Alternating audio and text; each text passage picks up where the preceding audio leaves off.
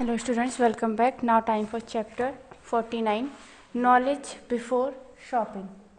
देखिए शॉपिंग से पहले हमें कुछ नॉलेज होना ज़रूरी है, उसी के बारे में ये चैप्टर है the Agmark standard the Agmark standard was set up by the directorate of marketing and inspection of the government of India the Agmark seals ensure quality and purity of a product a sample of Agmark seal is shown below यानी कि यहाँ पर आपको Agmark standard के बारे में बताया जाएगा। उसका एक यहाँ पर सैंपल भी दिया है आपने और एगमार्क जो है वो जो उनका प्रोडक्ट होता है, जिसके द्वारा डायरेक्टरेट किया जाता है मार्केटिंग की जाती है, इनकी वो हमारे जो इन जो इंडिया की गवर्नमेंट है, इंस्पेक्शन है, उसकी जो मार्केटिंग है, उसका साइन होता है।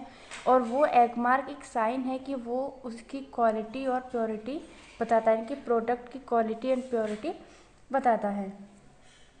देखिए, यहाँ पर ये दे रखा है आपको इसका। भारत सरकार द्वारा एगमार्क साइन। अब देखिए, sign to know. Veg, non veg, food package. When you buy any food product in a packet or or a can do not forget to see the waste sign on it any package containing food products bear signs to indicate the vegetarian and non-vegetarian nature of the content darkened circle within a square is authorized sign approved by the government of india non uh, green colored sign shows vegetarian stuff while brown mostly appearing colored sign shows non-vegetarian product यानी कि जब आप कोई food product खरीदते हो, वो packet में है या, और आप उसको नहीं, आपको नहीं पता है कि वो वेज है या नॉन वेज है तो पैकेट पर क्या होगा कि साइन लगा हुआ होगा। देखिए, इस तरीके से का सिंबल होगा। अगर ग्रीन सिंबल है, यानी कि वो क्या है?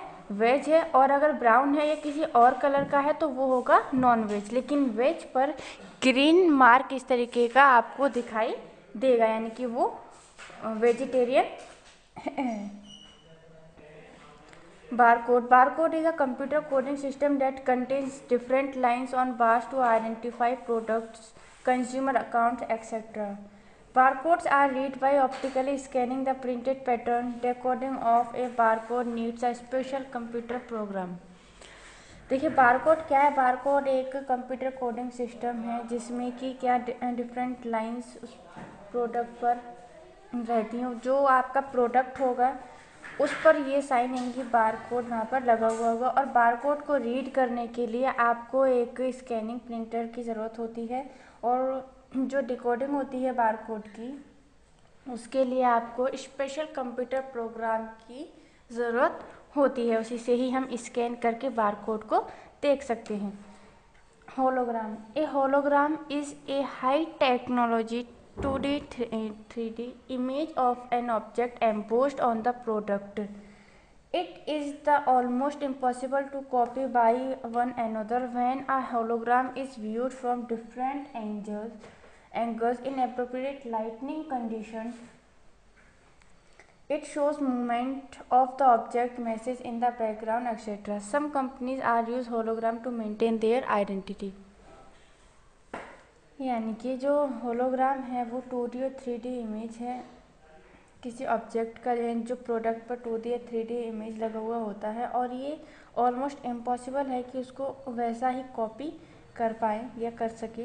एंड होलोग्राम को जो दिखता है, वो डिफरेंट एंगल से दिखता है, यानी कि डिफरेंट दिखता है। लाइटनिंग कंडीशन होती है तो उसमें क्या होता है? मूवमेंट जो ऑब्जेक्ट होगा, उसमें ऐसा लगेगा कि मूवमेंट हो रहा है। एंड जो मैं, उसमें पीछे क्या होता है बैकग्राउंड में मैसेज रहता है और जो ऑब्जेक्ट होता है, उसमें मूवमेंट दिखता है मूवमेंट दिखता है उसमें और सम कंपनीज़ जो होलोग्राम यूज़ करती हैं, वो अपनी आइडेंटिटी को मेंटेन करने के लिए करती हैं। और ये होलोग्राम जो प्रोडक्ट को उभारता है एम्बोस्ड यानी कि, उभारना तो उभारता है।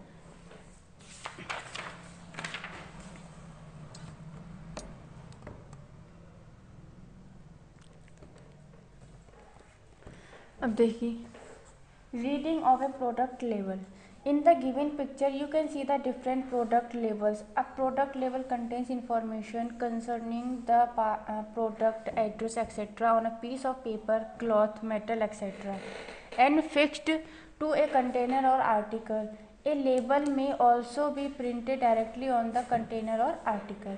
यानी कि जो यहाँ पर को पिक्चर दी हुई है, उसमें आप देख सकते हैं कि डिफरेंट प्रोडक्ट के प्रोडक्ट हैं, उन पर लेबल्स लगे हुए हैं एंड जो प्रोडक्ट लेवल है, उसमें इंफॉर्मेशन लिखी हुई है प्रोडक्ट के बारे में और जो प्रोडक्ट का एड्रेस है, उसके बारे में और किस पर एक पेपर का पीस है या कोई मेटल है, कोई क्लॉथ है, क्या है उस पर एंड इसे जो कंटेनर जो है जो कंटेनर होता है, उस पर ही चिपका रहता है।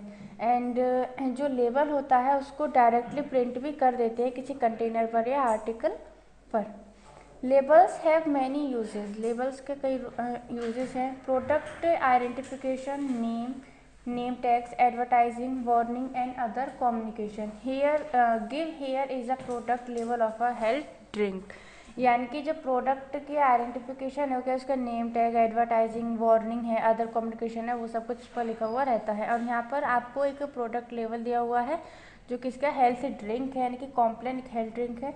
देखिए वेजिटेरियन साइन यहाँ पर वेजिटेरियन साइन होगा था and the ingredient section of section shows the items use to make the food product in descending order this means that the food item contains more of the ingredients listed first यानी कि जो ingredient section है वो जिसमें जितने भी food use food उस product को बनाने में जितने भी अदर प्रोडक्ट यूज़ किए गए हैं, उसके बारे में यहाँ पर लिखा होता है। एंड डिसेंडिंग ऑर्डर में लिखा होता है किसकी, कितनी, क्या चीज़ की यूज़ की कितनी क्वांटिटी में की गई है वो सब कुछ, जितने भी इंग्रेडिएंट हैं वो यहाँ पर लिखे हुए होंगे। Net we net weight indicates the weight of the content minus the weight of the containers यानी कि जो ने नेट वेट है, वो इंडिकेट करता है।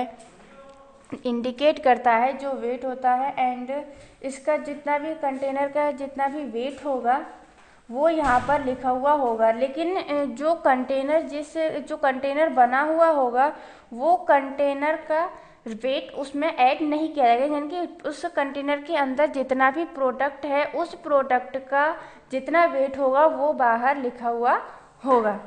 The nutrition facts label indicates the nutritional information also about the product देखिए, जो न्यूट्रिशन फैक्ट होते हैं, वो वहाँ पर जो न्यूट्रिशन इंफॉर्मेशन होती है, उस प्रोडक्ट के बारे में, वो भी वहाँ पर लिखी हुई होती है। एंड मैन्युफैक्चरिंग कंपनी इंफॉर्मेशन और यहाँ पे ये देखिए वहाँ प्रोडक्ट पर जो भी कंटेनर होगा, या जो भी होगा, उस पर जो कंपनी होगी मैन्युफैक्चरिंग कंपनी होगी, वो वहाँ पर लिखी हुई होगी, किसके, किस कंपनी से बना है, उसकी डेट क्या है एंड इस पर एक्सपायरी डेट मैन्युफैक्चरिंग डेट पूरा एड्रेस सब कुछ लिखा हुआ होता है। देखिए, यहाँ पर आपसे क्वेश्चन पूछे गए हैं read the information on any product you find in your kitchen and answer the following question यानी कि आपको इन्फॉर्मेशन आपने ये रीड करिए किसी भी प्रोडक्ट को आपको अपने किचन से कोई भी एक प्रोडक्ट लेना है और उस लेना है किचन से और उसके अकॉर्डिंग इनका आंसर्स देना है। तो ये आपको अपने आप करना है। ये फोर क्वेश्चन आपको अपनी नोटबुक में नोट करने हैं। Your chapter is complete